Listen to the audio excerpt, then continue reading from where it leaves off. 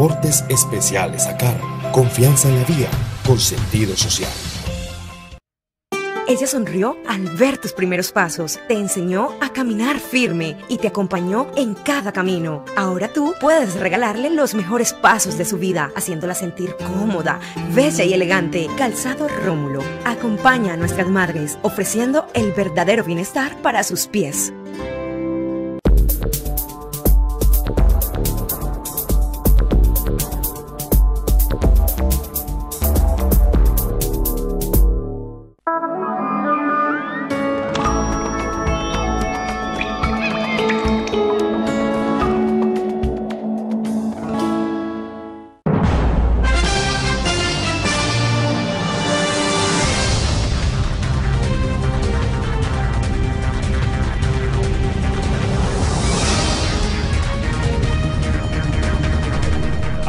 Televidentes, buenos días.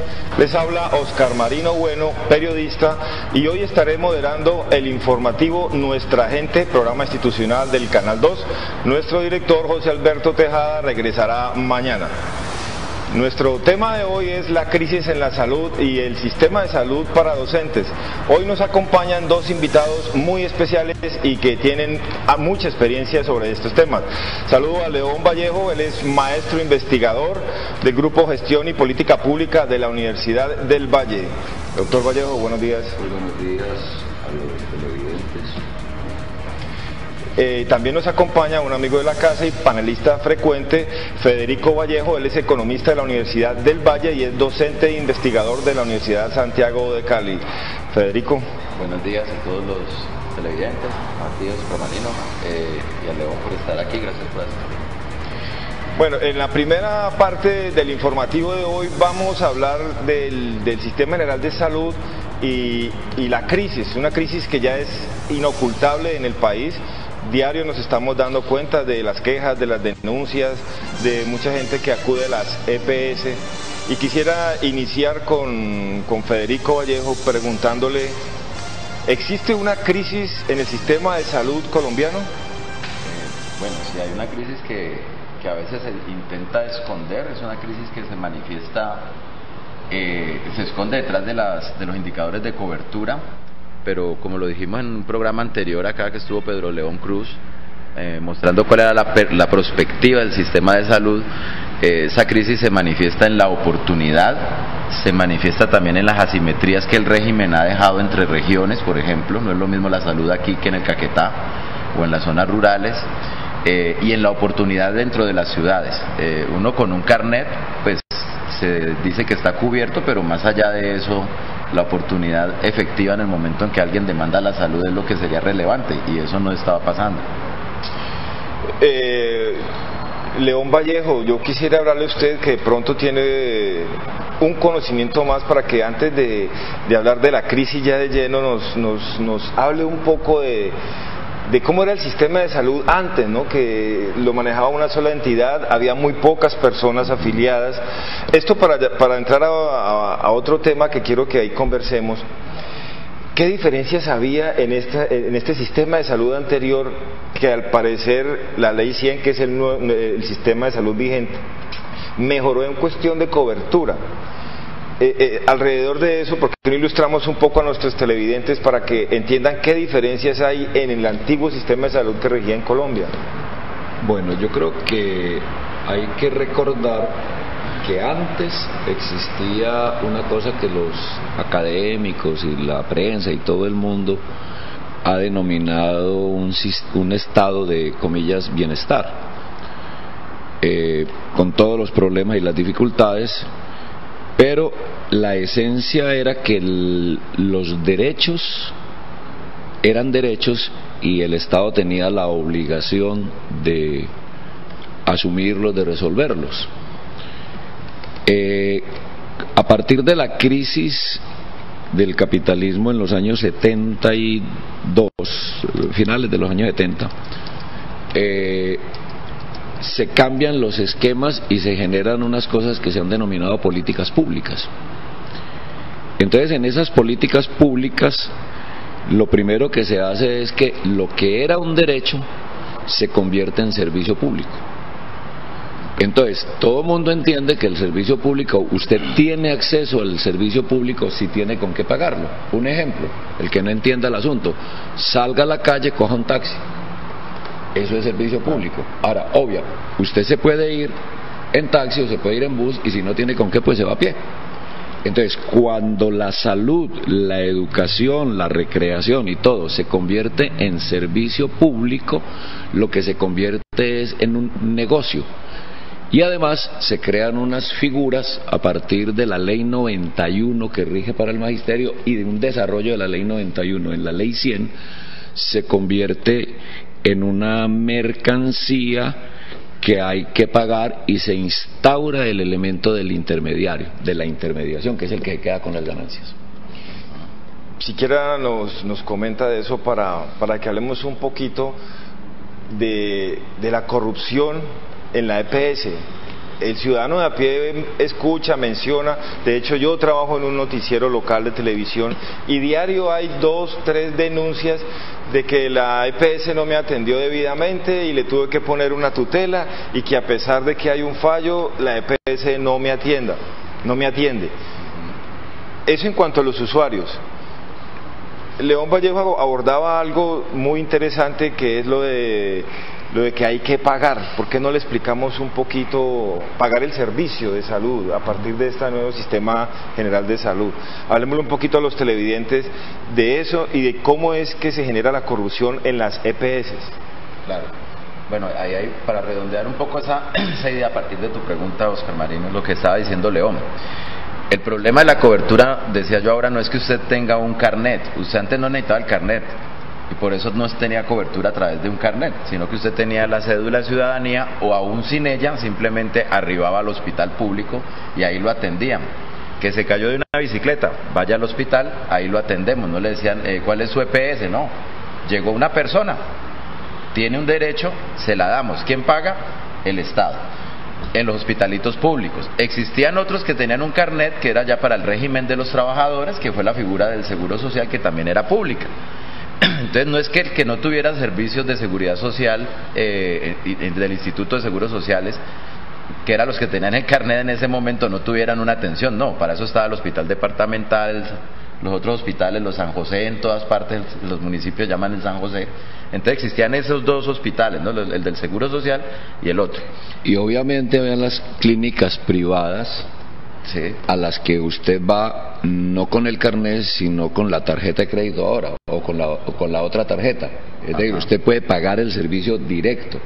Entonces, los que pueden comprarlo directamente, los que no, etcétera. Entonces, se creó una estratificación en ese sentido. Entonces, lo, lo, que cambia allí que es eh, para la televidente, los televidentes y aclarar un poco el asunto. Se cambia un modelo en donde el Estado si es el que oferta el servicio, es decir, si, el hospital es del Estado, él es el oferente, usted lo atropelló un carro, llévenlo al hospital, ahí está la oferta garantizada, no necesita tener ese carnet como tal, con la cédula o sin ella, puede ir, porque es un derecho la salud. Cambia el, modelo y entonces el Estado ya deja de ser un oferente de ese servicio y se convierte en un comprador de servicios a unos intermediarios de la salud. Como ya es una intermediación, necesita garantizar que el que va a estar atendido esté identificado. Entonces ahí sí ya el tema de tener un carnet es importante. ¿Por qué? Porque lo que cambia es ya quién presta el servicio. Entonces usted lo atropella un carro, usted va a una clínica, a una IPS que corresponde a una EPS particular o a un hospital que lo atiende a través del régimen subsidiado, pero ese ya es privado. Entonces, para poder registrar quién llegó aquí, previamente la persona tiene que tener una vaina que diga SISBEN 1, ah, listo, el Estado va a responder por él, como servicio, ¿no? Es decir, le doy el servicio al ciudadano, luego yo le cobro al Estado. Entonces el tema de la cobertura, que la asociamos a esa cobertura de que si tiene carnet o no tiene carnet, se volvió un problema. Antes eso no era un problema porque usted sencillamente eh, lo atendían y eso es de fondo, ¿no? Es el cambio de la política pública, de la oferta gratuita y estatal, hacia una política pública que subsidia la demanda y que da paso a esos carmaninos que tú estabas estás diciendo, la venta de servicio y los procesos de corrupción. Pero además con un elemento que es clave allí, y es que el intermediario lo primero que hace es sacar su ganancia y con lo que resta atiende. Entonces, entonces esa, eh, el, el, Estado se fue modificando y fue modificando estructuras para que el dinero del Estado no, no, sirva para prestar la salud, sino para pagar los intermediarios. Y entonces los intermediarios sacan unos elementos de ganancias extraordinarias y lo primero que hacen es sacar la ganancia. Ahora, eso lo han venido haciendo de manera legal y, dicen las noticias, de manera ilegal. Eh, León, para, para desenmadejarle un poquito al televidente esta parte de los intermediarios y de las EPS, lo que el gobierno dice y el ministro es, ah, el sistema actual de salud mejoró la cobertura, hay mucha más gente con acceso a la salud. De hecho, a esos intermediarios que usted menciona, eh, el gobierno subvenciona los estratos 1 y 2 y 3, 1 eh, y 2, ¿no? Con, con, los que están censados en el CISBEN. O sea, hay una plata que le llega. Y uno de trabajador independiente o de cualquier empresa, usted tiene que estar pagando su cuota, porque si no la paga, tiene un problema. El segundo ya lo. No lo atiende. Entonces, como para para aclararle un poquito más al televidente que también el informativo tiene una, una labor pedagógica para explicarle cómo es que se genera la corrupción, si todo mundo estamos pagando, independientes, empleados e inclusive los de estrato 1 y 2 con el régimen subsidiado, el gobierno muy cumplido desembolsa a estas empresas intermediarias, como ustedes le están diciendo, el, el, dinero. Entonces, ¿por qué hay tan mala atención? ¿Por qué hay escasez de droga? Para que la gente entienda eh, a partir de qué momento, usted me decía que, las, que estas empresas reciben, porque reciben todo ese dinero, de hecho uno no puede dejar de pagar. Sí. ¿Cómo es que reciben ese dinero y dónde es que se pierde la plata? Porque si allá no le recetan, y eso ya no es, eso ya no es cosa de nosotros, allá no le dan sino acetaminofén y loratadina para las gripas y todo eso. inclusive hay problemas para los medicamentos que están en el pozo. Entonces, esa plata, si todo el mundo paga cumplidos, si el gobierno desembolsa los subsidios cumplidos, ¿por qué no alcanza? Porque hay déficit en la atención, porque inclusive grandes EPS se, quiebran. Lo que pasó con, con Saludco, que ahora se llama Café Salud, pero que también está mal porque todas las quejas son con Café Salud, casi toda la mayoría. Esta mañana se quejaron con dos petardos en Café Salud. Hubo terrorismo en, Bogotá anoche. Es que la, gente la noticia que amaneció fue esa, ¿no? Que revela parte de ese inconformismo, no son las vías de hecho, pero la pregunta es ¿por qué no? Café Salud. Es que ni las vías judiciales. Entonces, a León, ¿por qué, o sea, en qué momento se pierde la plata, mejor dicho, o se embolata? Vea, ahí hay dos cosas. Una que es la ganancia, digamos, para decirlo de alguna manera, legal, legítima, del empresario que invierte y que empieza a hacer el hueco. Es decir, yo presto ese servicio y por administrarlo cobro una plata. Ese es un hueco que debería dedicarse. Mejor dicho, el ejemplo es este. Usted es el Estado. Yo soy el maestro para mi caso. Federico sería el médico o la clínica. Entonces, usted me garantizaría a mí eh, el derecho pagando eso. Pero resulta que no, usted no contrata a Federico, usted contrata a un tercero, al, camarógrafo, que está ahora. Entonces, Jonathan. Eh, eh, Jonathan es entonces la EPS. Entonces usted le da la plata a EPS y entonces Jonathan contrata a Federico pero saca la plática del primero. Por delante, claro. Claro. Entonces, con lo que resta, si alcanza y hasta donde alcance, entonces hay una perversión en eso porque algunos dicen, ay, lo que hay que aumentar es que le den más plata a los intermediarios. No, el problema son los intermediarios. Pero además quedan unos márgenes ya de corrupción, que la plática se va para otra parte, eh, que las inversiones en el extranjero, eh, que la plática se embolató, que son temas que sin la intermediación no podrían, no, no, habrían lugar para ellos. Entonces aquí el problema clave de la salud que manejan los maestros, o mejor dicho, la salud con la que manejan a los maestros, y el problema de la ley 100, el aspecto clave es la intermediación. Y el aspecto clave es que la salud, de ser un derecho, se convirtió en una mercancía y en una fuente de renta, de rentas legales e ilegales. Porque además la salud, y eso pues los periodistas lo saben, eh, en muchas partes del país, ¿quiénes son los intermediarios básicos de eso? ¿A quién le entregan la platica? ¿Para qué se hacen los lobbies? ¿Para qué, hace, para qué se hacen las, los elementos del poder regional? Justo para eso, para que le llegue el contrato. Y con eso financian cantidad de actividades legales y de otras. Sí, claro, creo que por eso fue que la gran crisis en, en Salucop, porque ellos a la junta directiva los acusaron de haber gastado dinero recogido de todos los colombianos y ciudadanos, gastaron esa plata en otras cosas, escondiéndose en otros, en otros rubros. Mm. El, problema, sí, como, pero el problema no era tanto lo costoso del helicóptero de Palacino para que fuera a jugar golf. Eh, eh, digamos que esa es la cereza del postre. Claro, el problema es cómo se desangra el sistema por esas otras vías de los pagos por intermediación. Eh, finalmente para la asignación de un contrato entonces se le tiene que pagar a uno, a otro, a otro, a otro. No, ¿y cuál es el efecto? Pongo mi caso. Yo tengo mi, mi, EPS, o mejor dicho, la EPS a la que estoy adscrito del magisterio, ¿sí? que en, en Antioquia llama Fundación Médico Preventiva. Y entonces el cuento es, no hay agenda, eso lo están auditando y queda pendiente. ¿No es cierto? Entonces yo tuve una crisis muy grave en la salud y me tocó, porque era un problema de sobrevivencia, ir a pagar salud privada, contratar a un médico que me, y, que, y que fue quien me sacó de esa olla. Entonces, ¿por qué ocurre eso? Sencillamente porque en el medio está el intermediario que se queda con las ganancias. ¿Por qué usted como docente, León, hablemos un poquito de, esto ya de los, de los maestros y del sistema de salud?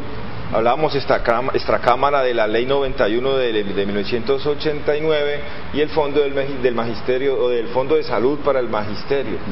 ¿Qué, incidencia ha tenido esto a partir de, la ley 100 del 93 con ustedes, los maestros? Bueno, eh, ahí hay que hacer una aclaración que a mí me parece muy importante. Si a mí me preguntan, León Vallejo, ¿usted qué prefiere? ¿El régimen que tiene en la ley 91 o prefiere que se pase directamente a la ley 100? Pues yo digo, en esa opción, pues claro, déjenme en la ley 91, ¿no es cierto? Pero yo pregunto, ¿esa es la opción? Entonces hay que mirar, hacer un rastreo histórico. ¿Ustedes tienen la opción? No, no, estoy preguntando, nos lo están planteando como una opción, ley 100 o ley 91, y no hay más. Pues es lo que, lo que plantean incluso algunos dirigentes sindicales. Y dicen, no, para que no nos manden a la ley 100 tenemos que defender la ley 91. Entonces lo que hay que averiguar son dos cosas. ¿Qué fue la ley 91? Y discutirlo a fondo. Ese es un punto. Y dos, ¿de dónde surgió? Entonces, digámoslo muy brevemente. La ley 91 creó el fondo del magisterio, el, fondo de las prestaciones sociales. Cuando se monta esa ley, el efecto directo es que una enorme cantidad de maestros perdieron derechos de jubilación, perdieron retroactividad de las cesantías perdieron la posibilidad de lo que se llamaba eh, la bueno, una serie de elementos de jubilación, la pensión gracia, por ejemplo. Todo eso se perdió. Pero el problema grave es que se inventó la fórmula de la intermediación a partir de allí. Entonces, cuando a mí me dicen, yo soy maestro, me dicen, es que tenemos que defender nuestro sistema, yo digo, ese no es nuestro sistema, nuestro sistema es era el que teníamos antes. En Antioquia no pagábamos un peso los maestros por la salud y la teníamos garantizada porque el Estado respondía por eso. Entonces ahora no ocurre eso, ahora está el sistema de la intermediación.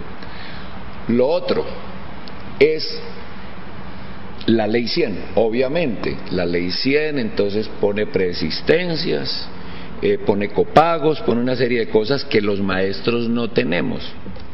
Pero ¿qué es la ley 91? La ley 91 es la ley 100 sin copagos y sin, y sin, y sin preexistencias y otras cosas así. Pero la estructura es la misma. Es más, usted que es periodista, yo invitaría a los periodistas a que hagan esta investigación. ¿Quién presentó y quién defendió el esquema básico de la ley 91 y de la ley 100? Álvaro Uribe. Álvaro Uribe, de hecho el, el, ponente de la ley 100. Ah, claro. Y, y uno de los responsables básicos de, de lo que fue la ley 91. Entonces nosotros decimos, un sector de los maestros, estamos diciendo, esta crisis que hay en la salud del magisterio, que es terrible, eh, es decir, los cuentos que se cuentan de la salud en general del, del pueblo, que, que, el responsable es la ley 100, y de la crisis que hay en la salud del magisterio, donde obviamente hay la tendencia que el Estado quiere atirarnos a ley 100 plena, ¿no es cierto? ¿Qué hay que hacer con eso? Es estudiar a fondo qué significó la ley 100. Lo reitero, se perdieron prestaciones, se perdieron jubilaciones, se perdieron muchas cosas, pero además de eso, se construyó el esquema básico de la intermediación. Es el que, el que es fatal, lo que es, es un error para cualquier país eh, tratar de esa forma a sus maestros. Porque el maestro, las críticas que hacen quienes plantearon la ley 100 y privatizar esto del servicio de la salud, porque eso fue lo que se hizo, ¿no? Privatizarlo, era mejorar la cobertura y, y, decir que el sistema colapsó por los subsidios, que el sistema colapsó anteriormente porque no tenía alcance para todo mundo, pero eso no es, sobre todo en el caso de los maestros. Y que el problema se resolvería si escogemos un buen prestador y le ponemos unas condiciones si, si, si escogemos un buen prestador con unas exigencias mayores, no se toca el problema fundamental que es el problema de la intermediación. Aquí lo que hay que hacer es una lucha contra la ley 100 y mirar históricamente sus nexos con la ley 91. Sí, porque el, el, ministro dice que no hay crisis en la salud, pero la realidad dice una cosa. No es que él se enferma y lo atienden. No, pues claro, es, es, muy diferente. Pero otra cosa muy diferente para el ciudadano a pie, eso lo vemos todos los días en, en las noticias. Federico, hablemos de estos intermediarios. Yo creo que hay que cerrar esa, esa idea, me parece bien la, la, la, propuesta que haces de hablar de esa intermediación, para ir cerrando estas ideas. Lo, un, lo primero es el problema no son los intermediarios. León de pronto ahora dijo eso, pero lo que estaba hablando más bien era de decir que el problema es el mecanismo de intermediación que se propuso a través de la ley 91 del 89, primero como un ensayo de la ley 100 y se concretó en esa ley 100. Entonces los intermediarios no son el problema porque hay intermediarios que son decentes, que hacen su labor como empresarios en el sistema capitalista y necesitan de su ganancia para vivir y pueden hacerlo legalmente sin ningún chanchullo. Es decir, no todo intermediario es corrupto ni, debe, ni debería de serlo. Entonces, ¿cuál es la, para cerrar esa idea, el problema es que la intermediación impone un mecanismo distinto al del derecho universal que se tenía antes. Entonces el punto es ese, la intermediación en sí misma no es corrupción, sino que aquí le hemos sumado la corrupción. La intermediación sí pone un mecanismo que es distinto, que le araña recursos legalmente a lo que debería de ser porque pone a alguien a funcionar que necesita vivir y que necesita pues su ganancia. Supongamos que son ángeles todos los intermediarios. Número uno es eso. Número dos, para que eso funcione, tú dijiste algo eh, ahora, Oscar Marino, uno paga la cuota, uno paga, es que uno paga porque si no, no le pagan. Si usted es un eso se ha refinado, ¿sí? Entonces, los televidentes que conocen cómo funciona la cuestión, cuando usted no tiene un empleado, sino que es limitado, es usted mismo limitada, como decimos con León, ¿qué pasa? Usted paga una orden de prestación de servicio, es decir, usted le hacen un contrato para que usted le paguen, usted pasa una orden de prestación. Hice un trabajo por un millón de pesos. Le deben a Federico Vallejo un millón de pesos, la universidad tal o la institución tal Listo, para que a mí me pague esa institución que me dé el millón de pesos por mi trabajo, yo tengo que pagar salud y tengo que pagar pensión. O sea, son casi 300 mil pesos en un millón. Y si no, no me pagan. O sea, si yo, si yo no puedo ir a decir, no, eh, no me pague porque el punto ni, siquiera te hacen el contrato Ni siquiera me hacen el contrato. O sea que esa plata está garantizada por ese lado. Entonces esos son los grandes caudales que llegan finalmente al sistema, los 9 billones que cuesta más o menos nuestro sistema de salud. Y por el otro lado está una plata que adicionalmente pagamos nosotros, que es el Fondo de Garantías, el FOSIGA, que se supone debe de cubrir un montón de riesgos para los trabajadores. Entonces lo que uno encuentra es, cuando hay desatención en el POS, ¿cierto? Un medicamento que no se cubre eh, o un tratamiento que la IPS no quiere hacer o no va a hacer estratégicamente, ¿quién cubre? Los mismos trabajadores que ya han pagado otro fondo adicional que es el FOSIGA.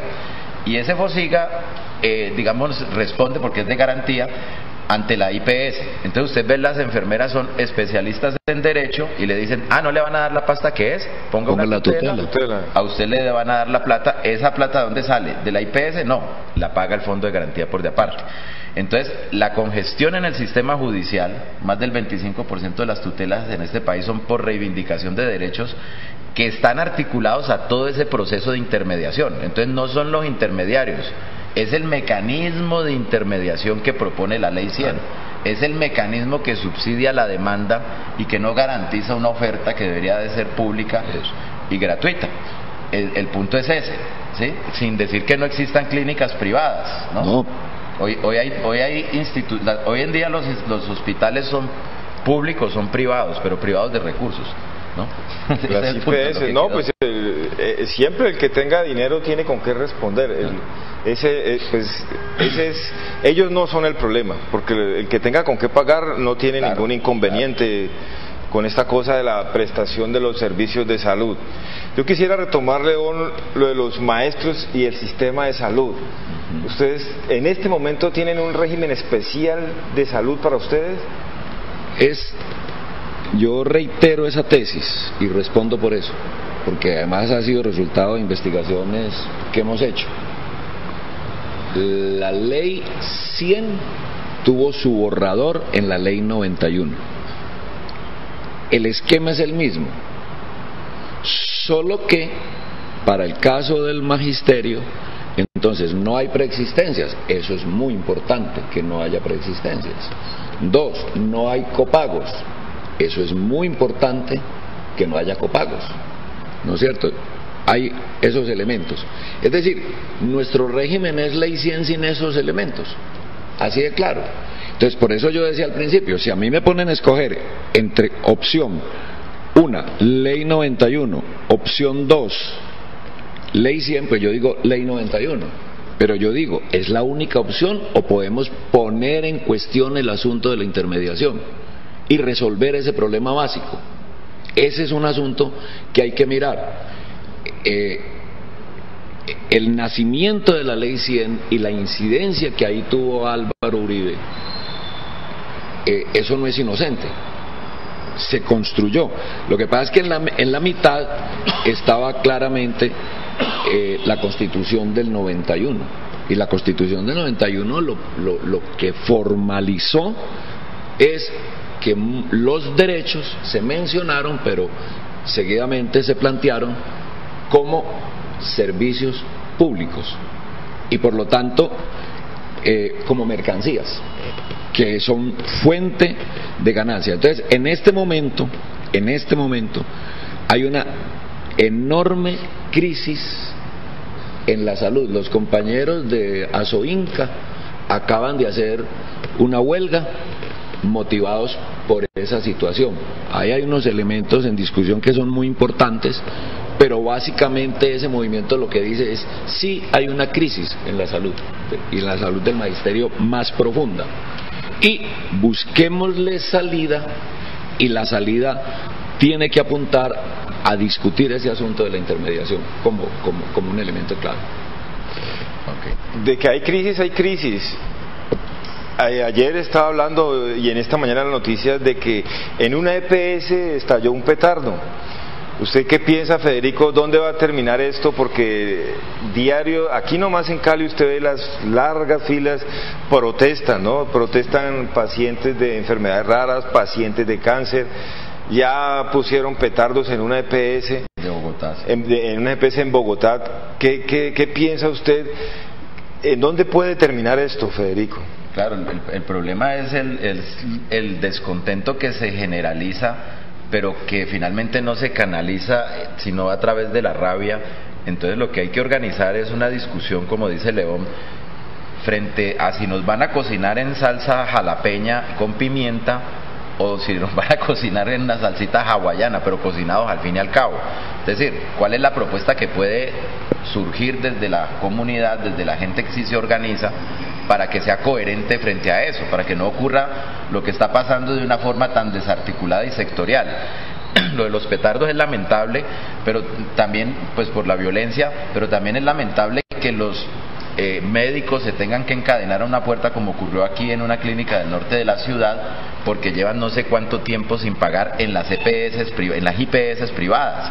Eh, ya los médicos del hospital universitario están curtidos y tienen un sistema de crédito, supongo yo, muy especial porque ya cuentan con que no les van a pagar sino cada seis meses. Pero miren que ya estas EPS mismas, IPS, perdón, instituciones prestadoras de salud, es decir, las clínicas, han comenzado a incumplir el pago de sus propios eh, trabajadores, eh, lo cual es grave, ¿no? Eh, los, los, la, la, explotación misma de los médicos a todo nivel, del médico general hacia los especialistas, ha conducido a que se hayan ya generalizado unas protestas y que se haya manifestado una necesidad de que los trabajadores de la salud privados se organicen. Los hospitales públicos tienen sus sindicatos, eh, los de la salud privada no, porque entre otras cosas se condenó al sindicalismo eh, a la par de los años 80 que se dijo que el, que el sindicalismo, perdón, que, el, que lo público era el demonio en general, entonces todo hospital público, toda empresa privada, eh, pública de servicio, etcétera,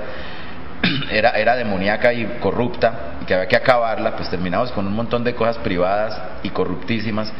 Entonces al mismo tiempo se, se volvió el demonio también todo aquello sindicalizado y se trazó un signo de igualdad muy fácil y muy peligroso para los derechos de los trabajadores a nivel internacional. Queremos entrar a la OCDE y la OCDE reconoce como un derecho internacional el derecho a organizarse. Pregunten las principales instituciones financieras Mm, eh, y empresas de, este, de este país a ver qué, quiénes tienen la capacidad de organizarse. Jurídicamente, 25 trabajadores que hagan lo mismo, dice el Código Sustantivo del Trabajo, pueden organizarse, pero los, los especialistas están pensando en cómo nos organizamos. ¿ah? Entonces dijeron, ¿Cómo hacemos para que no nos expolien más? Nos tienen los sueldos congelados hace mucho rato. Son personas que ganan relativamente bien si lo comparamos con el común de la ciudadanía. O con el médico de base. Pero, o con el médico de base, ¿cierto? Y entonces dicen, nosotros, ¿será que podemos organizarnos? Entonces me preguntaba alguien por allí, yo les dije, sí, eso se llama sindicato y está en la ley 50. y está garantizado. Usted puede hacerlo, sí, pero no se les ocurre porque decir sindicato, no, eso es el demonio, son eh, guerrilleros, terroristas, se van a sindicalizar. Es una palabra muy estigmatizada. muy estigmatizada esos derechos se pierden por ese lado y esa capacidad de organización se desarticula. Y claro, negociar de a uno es muy fácil, otra cosa es negociar con un cuerpo de trabajadores de la salud o con un cuerpo de usuarios de, de la salud como un todo. Entonces lo que pasa es yo sí convocaría a la gente a que se organice con coherencia, tanto los maestros como la gente con coherencia, y eso implica el estudio de la ley, las implicaciones, para que pueda haber una propuesta alternativa, eso que dice León, y es que es lo que tenemos, no, es lo que tenemos como oferta, bueno, si la contraoferta es desmontemos el sistema que hay porque es corrupto, ineficiente y muy privado, pues hay que comenzar a jalar esa idea, pienso yo. Bueno, esto de organizarse y sobre todo con el, con el gremio de, de educación y los maestros, ustedes tienen un sindicato gigantísimo a nivel nacional a este sindicato, aquí en el Valle del Cauca se llama SUTEP, ¿no? A, nivel nacional es la, es la FECODE. Este sindicato... Ahora que hay dos. ¿Qué ha pasado con eso? Está otro sindicato nuevo que se llama CIEVA, creo. No, aquí le salió eso, los que no estaban con eh, un sindicato diferente a ellos, porque las acusaciones de hecho, aquí en el Canal 2 hay un noticiero Pacífico Noticias donde mm, han salido muchas notas de lo que estamos hablando, muchas imágenes que podrían haber sido de apoyo de, las grandes filas, de las grandes denuncias en las EPS. Pero para esto de la educación hubo una nota que salió hace muy poco sobre que hay un sector de los docentes que desconocen a, a su TEP que es la filial del sindicato nacional y dicen que ese sindicato está organizado y clientelista y que trabaja es para intenciones políticas. Eso lo dicen los señores del nuevo sindicato de los educadores. Este sindicato sí le funciona, sí, porque pues me imagino que si hay afiliados es porque a algunos docentes le funciona. Él sí está funcionando, el problema no es los, los educadores organizados, porque Federico plantea organizar médicos, trabajadores de la salud. Yo le pregunto a él porque ellos ya están organizados. ¿Cómo va eso? No, vea, eh, en eso hay que ser muy claros y muy coherentes. La Federación Colombiana de Educadores como federación es muy importante. FECODE. FECODE. Y los sindicatos regionales, todos son muy importantes. Y hay que defenderlos. Y hay que construirlos. El problema es que usted sabe que en el seno de los sindicatos se mueven tendencias. Y además de las tendencias se mueven concepciones. Entonces, por ejemplo, una orientación que tiene FECODE en este momento es vamos a defender la ley 91 y lo dicen así con todas las letras. Y yo digo, eso no puede ser. Pero la ley 91 le garantiza algo a los educadores, o sea, no, lo, primer, lo, primero es no, lo primero que hay que entenderlo, yo lo he reiterado, es que con la ley 91 que no es solo sobre salud, es decir, hay un esquema de salud ahí planteado, que es el esquema de la intermediación y de, la creación del fondo del magisterio. Ese es un, asunto, pero es que con la ley 100 perdimos prestaciones sociales, retroactivo de la cesantía, se, perdió un montón de cosas. También se gana, también, eh, por ejemplo, hay una, hay, hay unas cosas que quedan ahí por cobrar que se supone que eran una especie de reivindicaciones que aparecían allí, que nunca, que nunca pagaron. Pero el asunto clave es que la esencia de la ley 91 en relación con la salud es la creación del intermediario.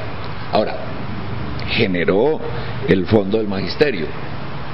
Ese fondo como está ahora, pues obviamente que ese fondo hay que defenderlo como tal, es más, exigir que el gobierno le pague todo lo que le está debiendo, que le está debiendo Para billones, billones, billones. Pero entonces, ¿cuál es la discusión? Yo puedo como dirigencia de FECODE decir en abstracto y en general defendamos la ley 91 con todo lo que eso significa, yo pienso que no. Entonces aquí el problema no es FECODE, sino la dirección. De con qué dirección se está planteando el asunto. Y entonces hay puntos que discutir. En la propuesta de los compañeros del Cauca hay elementos que habría que discutir de fondo. Pero el problema es, entonces abramos la discusión. Entonces yo aprovecho esto, soy maestro de base, estoy afiliado a FECODE y les digo, compañeros del Ejecutivo, abramos la discusión sobre la ley 91 porque esa discusión no se ha podido hacer. Hagámosla y hagámosla a fondo. Y entonces a los compañeros del SUTED y a CIEVA, de, de, las otras cosas. Ahora, a mí por principio no me gusta que haya multitud de, de sindicatos, estamos luchando por un sindicato único de la educación. Esa sería la alternativa. Pero hay caminos y dentro de los sindicatos hay muchos problemas con la democracia sindical, por ejemplo. No, no, no, está funcionando la democracia sindical. Entonces, eso tiene que ver, yo creo que con el otro punto que hemos hablado de esta Cámara, que no sé en qué momento, es, es el problema de, de las modificaciones que ha habido en la educación misma. Uno de los aspectos claves es la salud de los maestros, pero no es todo el problema de la educación en el país. Eso es, es una parte, Federico. ¿Cómo ve usted esto de la, la salud y, y, los, y los docentes? Sí. Porque ellos sí están organizados, por lo menos a nivel sindical el, el, el tema de el prerequisito para, para dar, digámoslo así, una, una buena defensa de lo que son los derechos, etcétera, pues es el estar organizado, es decir, es condición sine qua non. Pero el otro es la, la línea o la, la directriz que se da eh, y que se está defendiendo. Eh, uno no puede llegar feliz a, la casa con el negocio de la cruz en el hombro, ¿cierto? Es decir, eh, van a crucificar a, Jesucristo y, y la, es una mala noticia, como dice León en un chiste, y la buena noticia es que el, contrato no lo dieron, porque se han negociado esas cosas así. Nos dieron el contrato de la cruz. Nos dieron el contrato de la cruz como carpinteros que somos. los sindicatos a veces defienden, por ejemplo, a los afiliados y no miran qué está pasando con los nuevos que van a llegar. Entonces dicen, eh, el problema de lo que se está proponiendo con los maestros por prestación de servicio es un problema de los muchachos que van a llegar nuevos, con nosotros no, nosotros ya tenemos el derecho adquirido y es, irrevocable. Pero el mecanismo que se monta es que los nuevos ya no tienen el derecho. Y entonces a largo plazo, pues todo el mundo no tiene el derecho. Yo, quiero subrayar eso que está diciendo Federico. perdiendo, yo, yo, yo quiero subrayar eso. Había una serie de derechos conquistados en el, en el 2277 y había una normatividad que decía, derecho conquistado a ti no te lo pueden quitar. Como sujeto. Como sujeto individual. Listo. Entonces, la ley 91 inauguró ese camino. No, los que tienen el derecho lo tienen. Pero el nuevo entra con otras condiciones. Eso está en el corazón de la ley 91. Por eso los dirigentes sindicales de esa época venían con la cruz de la, con, la señal de la victoria. Ganamos. ¿Qué ganamos? Que estas normas no nos las van a aplicar a nosotros, es a los nuevos que llegan. No, pero... resulta que a partir de ahí ha llegado mucha gente nueva. Claro. Entonces, ese es un problema clave. Es decir, ¿cómo hicieron para quitar derechos con esa norma?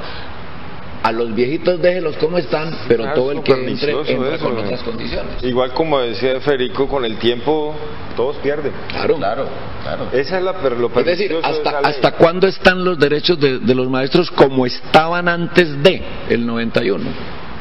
Hasta cuando nos retiremos o se muera el último de los maestros que estábamos vinculados desde por allá. En ese momento lo que entra es la nueva normatividad plena para todo el mundo. Todo maestro nuevo que llega entra en las nuevas condiciones. Por eso el, el ministerio está encantado con el 1278, con la inestabilidad laboral. Está encantado con el esquema que se planteó desde el Pacto de Bolonia, bajo el cobijo de la OCDE, ¿no? que inicialmente le dijeron a, los, a, las universidades, no, sería bueno que usted se vinculara y cumpliera con estos requisitos, eso es voluntario. Y resulta que ahora el que no se registre, el que no, ¿cómo es la palabra? El, el que no el, el, que no tenga todos esos elementos no existe. Entonces, en este momento hay esa situación tiene que ver con el otro esquema, que era el punto que nos quedaba faltando. Es, en este momento hay unos cambios fundamentales en la, en la sociedad capitalista. Uno de esos cambios es la calificación de la fuerza de trabajo. Y entonces ya no se vincula a nadie y la regulación de los derechos de los, de, de los trabajadores en general no depende de la discusión colectiva, sino que depende del desempeño individual. Y esos son los nuevos esquemas. Y entonces vos tenés que pagar tu formación docente y, la formación de cualquier trabajador. Ya los maestros no suben como, como subíamos antes. Ahora hay un esquema de evaluación que básicamente se centra en la evaluación de desempeño pues lo, siendo los maestros y en cualquier sistema exitoso del mundo la educación tiene una prevalencia sobre cualquier otro tipo de profesión. Es, es una lástima ¿no? que, el, que, el que, al docente que es el encargado de formar, o tal vez eso le conviene también al régimen, ¿no? al, al sistema, porque uno lo escucha usted y entiende que, que, el docente también está en esa zozobra que está el ciudadano de a pie alrededor de la salud y que son los primeros profesionales que deberían estar tranquilos y su formación. de eso. ¿Quién, debe pagar la formación de los maestros? Pues el maestro mismo. Y tranquilo, le fiamos. Eso va en detrimento de, de, unas generaciones que ya de por sí son bastante superficiales, una, una formación que es muy perniciosa, los muchachos no leen, es una cultura de la superficialidad y si se trata así al gremio responsable de organizarla a, a los futuros ciudadanos, pues qué decir, ¿no? ¿Y, ¿Y sabe dónde empezó esa bulia de los, de los muchachos, de los estudiantes? Con el famoso decreto 230 cuando se planteó el nuevo esquema de financiación de la educación por capitación, entonces a, a, Cali, ¿cuánta plata le llega? Le llega para la educación el número de estudiantes que se matricularon el año pasado multiplicado por una ecuación. Entonces, si un niño comillas, pierde el año, entonces se pierde millón y punto de pesos. Entonces la orden era, pasen a todo el mundo. Y entonces los muchachos entendieron, uno le preguntaba a muchacho, ¿cómo te va? Bien. ¿Cuántas materias vas perdiendo? Diez. Detrimento de la calidad. Claro, de la verdadera calidad. Entonces, ¿y por qué te va bien si estás perdiendo diez? Ah, no es que fulanito está perdiendo once, el que pierde el año, yo voy sobrado. Y entonces ese esquema ha hecho mucho daño y no se ha resuelto. Y yo no abogo porque los niños pierdan el año, sino por ser rigurosos. Ese es un debate pedagógico que nos debemos los maestros. Y eso son formas como los gobiernos nacionales organizan la educación. Entiendo que son, no sé usted como docente investigador o usted León como maestro también investigador, que son requisitos que le pone el, gran capital a estos países, concretamente a Colombia. Esto de la ley 100 y esta reforma a la educación y al sistema de salud era un requisito para ciertos empréstitos del, del Banco Mundial, ¿no? del Fondo Monetario Internacional, que derivan en detrimento de la formación de los futuros ciudadanos. O si no, mire qué clase de políticos son los que ganan en nuestro país, porque la crisis sigue igual, la pobreza sigue igual, el sistema de salud es malo, eso no tengo que decirlo yo, vean las noticias, sobre todo las noticias locales. Eso, eso de, la educación y de la formación de los muchachos, ¿usted qué piensa, León? ¿Cómo, ¿Cómo se puede abordar eso? ¿Cómo se puede mejorar independientemente pues de lo que estamos hablando del, sistema de salud? Pues, lo, lo, lo, hemos dicho, no, y no es independiente, está articulado. Tiene que ver. Eh, el problema de la verdadera calidad de la educación es que deben haber unas condiciones materiales para el ejercicio de la práctica docente y de la práctica escolar. Es lo mínimo, claro. Entonces los muchachos no tienen comida, eh, ahora piensan, hablan de la jornada completa, pero la única, pero no tienen, pero no hay condiciones. Eh, eh, eh, ayer hablábamos con unos compañeros medio en chiste, medio en serio y cómo se aplican las estadísticas. Eh, unos colegios que habían subido en el índice de calidad de la educación, pero resulta que estaba claro que les había quitado plata para el almuerzo. Entonces, claro, si quieren mejorar la calidad de la educación, pues sigan quitando la plata del almuerzo. Pues sería la deducción lógica. Pero no, necesitamos unas condiciones materiales para el ejercicio de la práctica escolar. Buenos locales, herramientas con que trabajar, condiciones, posibilidades de que hagamos la discusión pedagógica que está prohibida. No, en las clases populares el hambre, o sea, garantizarle la comida.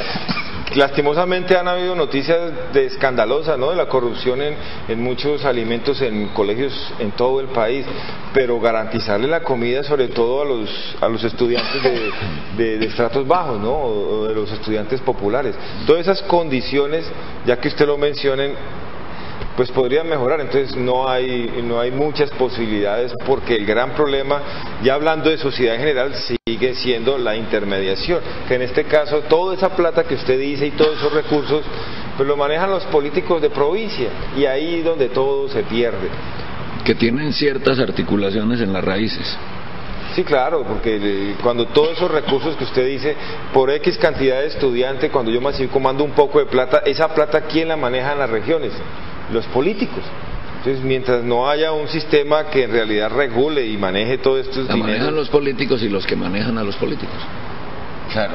Bueno, eso es otra discusión de otro programa, pero ya hace poco leí un estudio muy serio de que, de que en realidad cuando un alcalde, un gobernador llega eh, y que tiene mucho que ver también con la salud, ya él, ya no tiene nada que hacer, ya está comprometido por quienes le pagaron la subida a ese sistema de poder.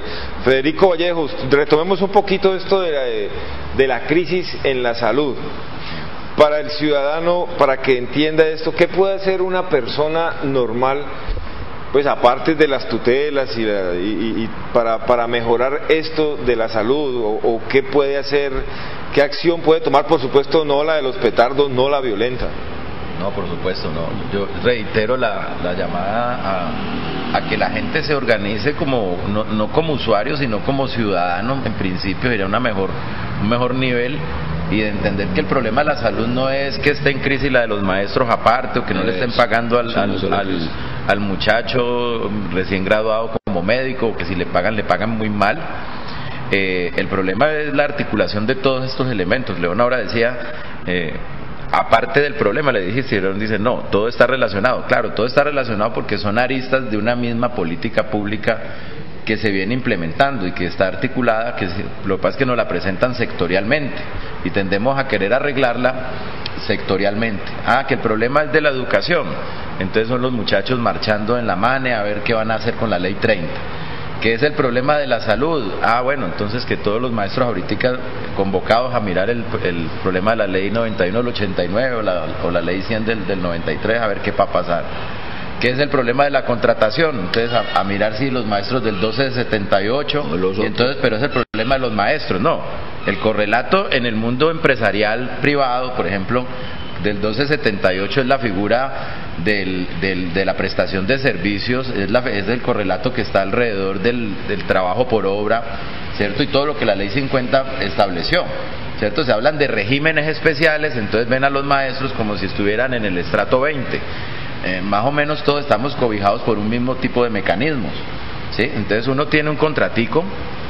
Eh, en, las universidades, por ejemplo, se contrata a los profesores cada seis meses, algunos afortunados tenemos un contrato de un año, y, y, los otros profesores les hacen un contrato a cuatro meses que son realmente, ¿cierto? Entonces la universidad es mala, no, hay un mecanismo la universidad digo en general como, como institución, no, lo hace la pública, lo hace la privada, pero en eso convirtieron al maestro, ¿no? Al maestro eh, de alguna manera pues que, que termina siendo lo que llama hoy en día hora cátedra. Miren que eh, eso está articulado a todas las ramas de la producción, salud, educación, industria, etcétera.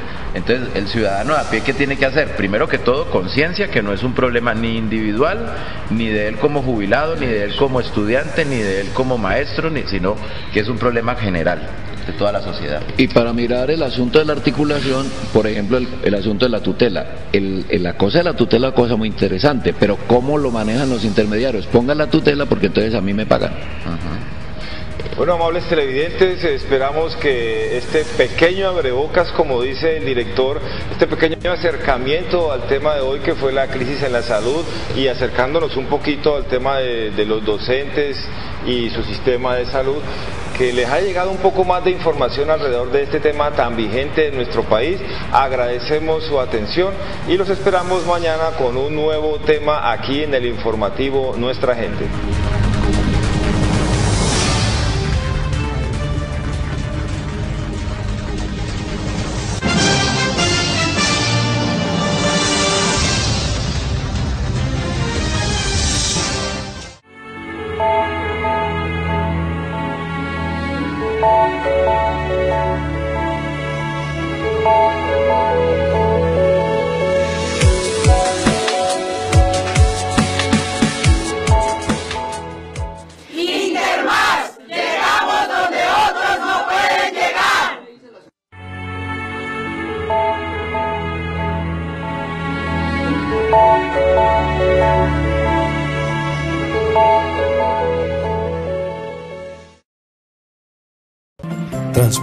Especiales a cargo. Confianza en la vía con sentido social.